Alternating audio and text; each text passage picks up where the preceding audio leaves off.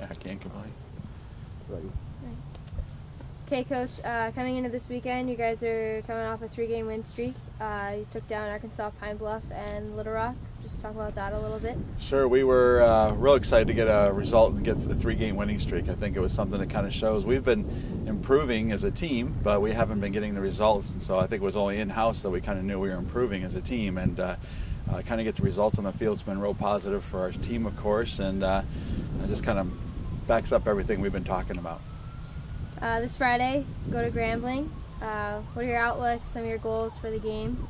Sure, we want to keep building on the success that we've had, of course, and and hope to do that. Grambling is in-state rivalry and someone just up the road, so you know the thing with that, you you know records and those kind of things don't matter always. It's just because it's such a close rivalry, and and I, and I imagine it'll be that kind of way. Grambling's always tough to play at home, but uh, again, we're, we're coming in as good as we can be, having a three-game winning streak and feeling about as good as we can about ourselves. So hopefully we can uh, build upon that. Well, yeah, the same thing. Louisiana Lafayette, a huge rivalry. It's always a close game. Uh, just from the history, it was kind of one of the first things when I got here as a coach is that uh, people talked about the Louisiana Lafayette game as being a uh, kind of that border war or any, anything along those lines, just because of the rivalry where so many people know each other. So it should be, I imagine, another real.